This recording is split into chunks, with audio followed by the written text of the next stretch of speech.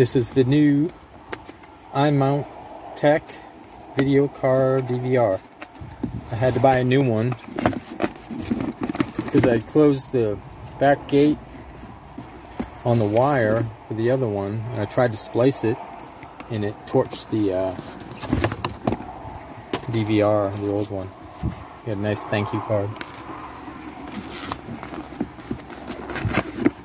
trying to do this one-handed. But, so I bought this one.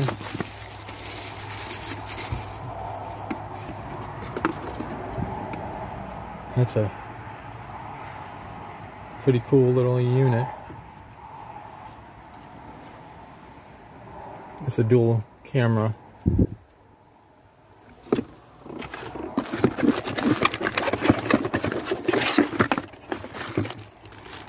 Connection wires.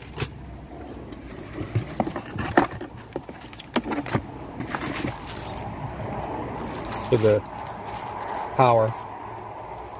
It's pretty basic, just plug it into the power, hook it up to the windshield with the mount, and there's the mount. It's not a lot to it, just follow the instructions. You hook the mount up here, and the unit hangs down, and you run the wires. And I've, I've already got a spot for the backup camera on the back and I'll just show it when it's done. This one has a pretty good picture. Not not as good as the other one, but I think it might be the, just the sun glaring so badly right now.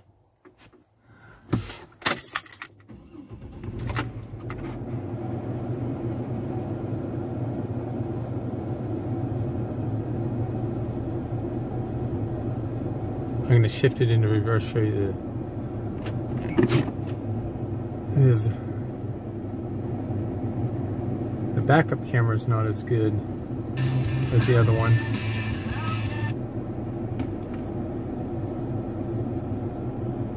But for the for the price, it's not too bad. This was the uh, Mount Tech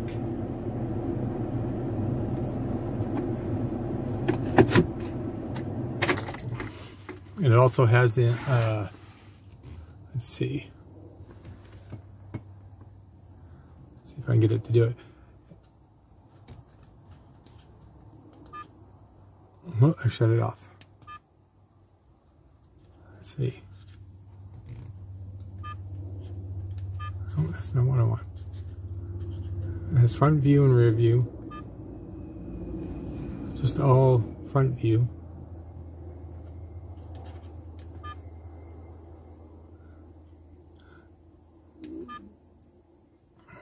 Front view and rear view. Front view. There we go. That's like rear view and in front view. All front. There we go. That's the uh, inside the car view. Rear view front view and inside the car.